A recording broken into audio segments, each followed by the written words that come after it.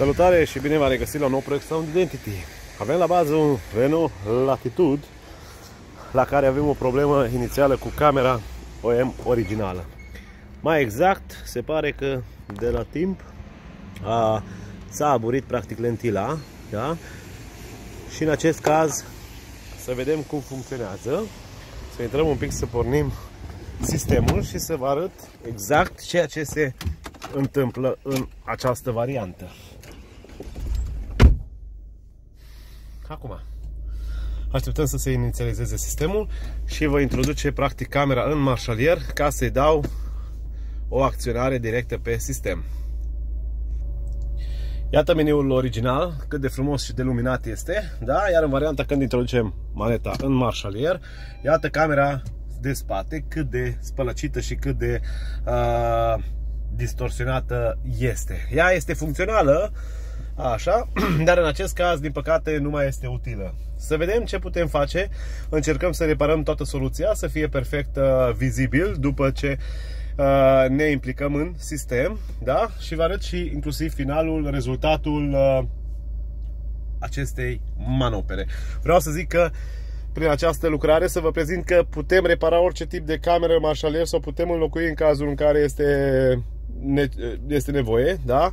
Deci, în cazul în care aveți un sistem care are o cameră marșalier și nu lucrează, noi ne putem implica ca să uh, avem uh, revizionarea părții dorsale a camerei aferente. Revenim cu partea a doua când totul este soluționat să vedeți rezultatul final.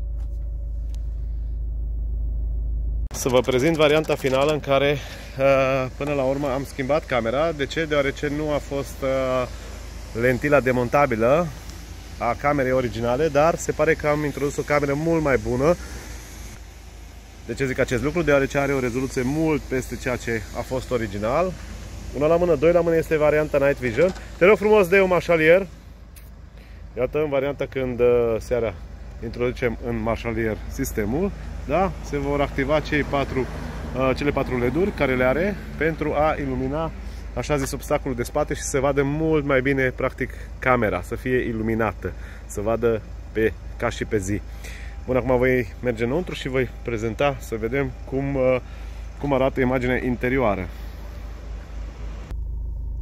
Să introducem în marșalier, da? Și să vedem obstacolul de spate cum se prezintă. Iată, avem perfect vizibil, mult mai colorat, nu neapărat față de cum a fost în varianta stricată, dar mult mai colorat și mult mai detaliat, ca și segment de pixel. Este această cameră așa față de cea originală. Hai să ieșim un pic în cadru și să vedem puțin cam aproximativ în lungime, cam cât vede, undeva la jumătate de stradă. Da? Deci cum avem această stradă minim jumătate o vede, după câte am uh, băgat și eu de seamă, iată, e așa și este cum am zis, da? Deci mă duc în spate, vede foarte adânc, foarte bine, fără nicio problemă, da? Deci îmi vede inclusiv unde ajung la bordură, tot, tot, tot foarte detaliat și îmi vede foarte bine inclusiv uh, în lung, ceea ce îmi place. Ok, acum voi extrage și mă voi parca înapoi la locație. Așa, ia să introduc. Fantastic ce greu, să zic așa, mișcă sistemul ca atare, deci reacționează la partea de introducere în marșalier așa a, a camerei, da? Deci părerea mea că un pic are un timp de reacție practic sistemul de navigație de schimbarea uh, monitorului în varianta de așa zis uh, imagine camera, ok? Partea de cornering a rămas deoarece asta vine din calculator, deci nu are treabă cu camera noastră. Așa. Ghidajele active le are, cele de jos le are oferite de camera nouă, cele existente sunt cele de sus, care le-a avut direct din calculatorul mașinii. Așa, deci totul a rămas practic neschimbat. Aș fi încercat, dar am înțeles că nu se poate mări această imagine ca să fie pe tot, pe tot display-ul, deci uh, rezoluția uh, este cam mică, să zic așa, dar nu a camerei, ci a imaginii care oferă practic uh, intrarea de cameră video. Cu toate astea spuse, ne găsiți pe www.soundidentity.ro proiecte cu variante uh, filmat, cu variante pozate, așa, pas cu pas cum se realizează un asemenea proiect, da? uh, pe Facebook Sandu Vancea sau Sound Identity Hifi Oradea, cât și pe YouTube unde găsiți aceste filmări, unde găsiți rezultatele uh, văzute cu ochiul, ceea ce a fost și ceea ce s-a realizat. De multe ori nu pun uh, reparațiile și nu le arăt, deoarece în cazul în care aveți o problemă, mă sunați și îmi comunicați care este deranjul dumneavoastră, dacă vă pot ajuta telefonic vă ajut, dacă nu, vă dau total o altă soluție.